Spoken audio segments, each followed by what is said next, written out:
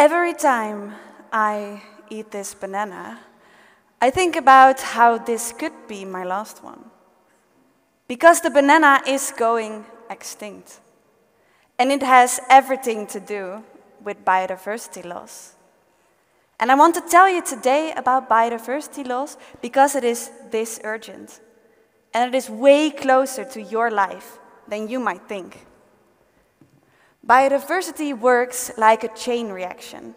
Just like your body functions because all of your organs are different, but they need each other and they strengthen each other so to maintain your health until you take one away.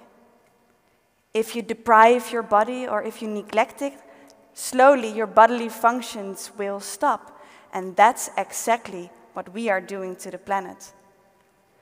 For the past two years, I worked as the youth representative on biodiversity and food for the United Nations. And here I saw what biodiversity does all around the globe. So here I am to tell you how biodiversity is linked to one part of your life your food. And here's the story that hopefully will make you think that biodiversity is not only losing your favorite animal species, but your favorite foods or the medicines you and your relatives might need one day. And it starts with this one the Cavendish. Its name is like some apples are called Jonagolds or some dogs are called Huskies. But unlike apples, there's only one banana to choose from in the supermarket. And that's weird. But what's also weird is that 70 years ago, this was exactly the same but then with a different banana. That one was called the Gros Michel, or Big Mike. And as its name suggests, the fruit were bigger, but they were also sweeter and they were easier for transport. And if you have ever wondered why the artificial flavor of banana, for instance in ice creams or candies, tastes nothing like bananas, it's because it's based on Gros Michel. It was that of a different banana. But the only reason we are not eating the Gros Michel, seemingly better Gros Michel anymore, is because that one is already extinct. And the Cavendish is facing the same direction. But to understand what is happening to our beloved bananas, we need to look at how they grow. Because you might have noticed that bananas is one of the few fruits who do not have any seeds. But they used to. They had a lot of seeds. So the discovery of the seedless banana was huge. People went wild for it. And growers from all over the world took that plant and took it all over their own countries.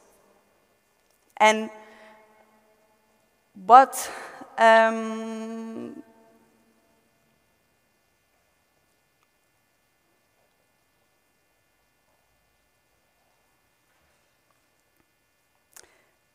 but a fruit without any seed.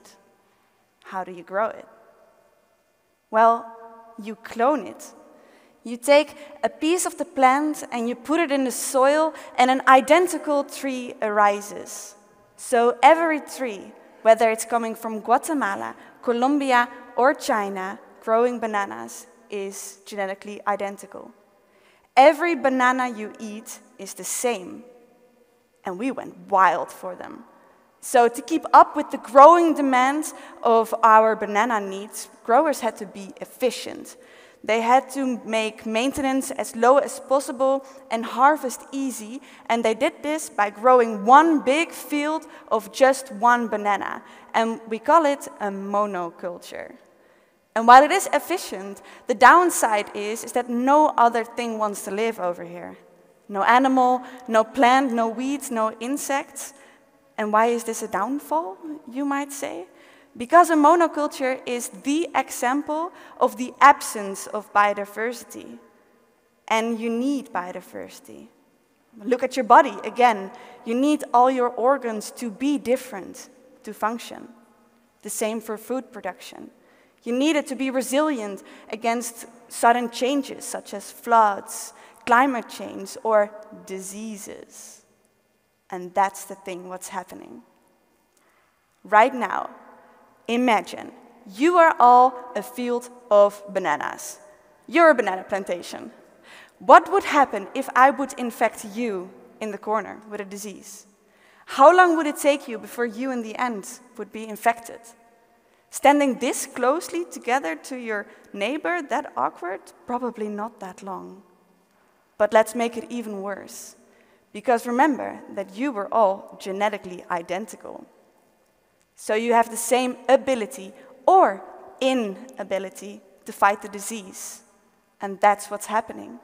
It is as if you are right now all patients of COPD, elderly patients, at the start of COVID, stuck in this room with a weak immune system. You would not stand a chance. And it was a disease that caused the end of Gros Michel. It caused the Panama, and it feasted its way through monocultures all around the globe, and it could spread through the soil because all of the plants were vulnerable and there was nothing there to stop them. And even when growers left their fields to make a new plantation, the Panama disease kept following them, and growers had to accept it. It was the end of Gros Michel until they found the Cavendish. And this banana was smaller, less sweet, and a little bit harder for transport, but it did save our banana until now. This is the new disease, and it is roaming all around the globe. And now, not only growers, but also scientists have sounded the alarm. This might be the end of our banana. Damn. No more banana breads? Or quick pre workout snacks? Well, not yet. So let's talk solutions. Right now, the only real saving angel of our Cavendish is spraying tons of liters of chemical pesticides from a plane on the plantation.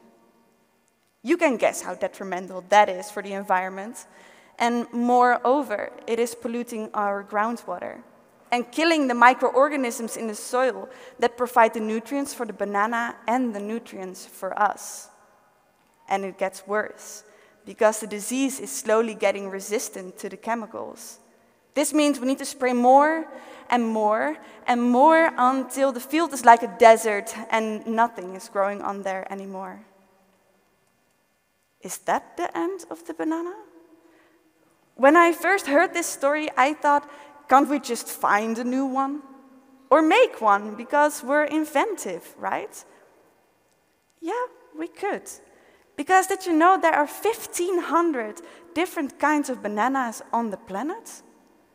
So, why are we not eating them? Well, first of all, it's because we are attached to this one. We love it. Second of all, as I said, not all bananas are good for long distance transport. But thirdly, and most importantly, because we think monocultures are just easy and efficient. So even if we would able to find a banana that we like, that is good for transport, then we would still need those monocultures and we'll still keep facing the same issues we're facing today. And if all along this story you have been thinking, Evi, I'm sorry, I don't really care about bananas. What about chocolate? Because cacao trees are struggling.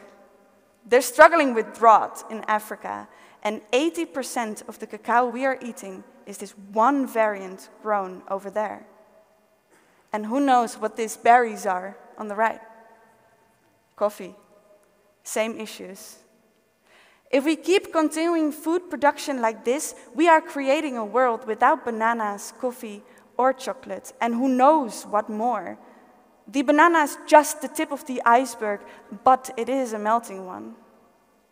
But there is a way out in food production, and that is using biodiversity. For instance, by using the genetic diversity within or between crops to create a resilient food system. You are bananas again. But now, every other row is a different type of banana. If we have a field like this, the following two things would happen. One, the disease wouldn't spread as easy because now you have different immune systems. And secondly, if you're genetically different, what would be the chance that some of you would be able to handle climate change, or droughts, or floodings? We call a field like you are now intercropping. And it's already been done by some farmers. And you know what's the cool thing? Is that it can even increase your harvest. So more fruits and vegetables with less chemical pesticides, less polluted groundwaters, and more nutrients in the soil. That's food security. And I understand this is a huge task for the farmers, but we can help them. If we open up to eating other flavors of bananas or even other colors, this is possible, but only when supermarkets, food producers, governments, and financial institutions accept that we need to change the way we produce our food and financing it, there's a way out. We could save the banana. When I had been telling this story, I have had such an amazing conversations about biodiversity because people really do care about the planet. They don't feel connected to it yet. How about you now? So let the next time you prepare your meal be a reminder to biodiversity. And the next time you enter a supermarket and there is this second or third banana, let it illustrate the beginning of a new era, the era of biodiversity and a new beginning for our banana.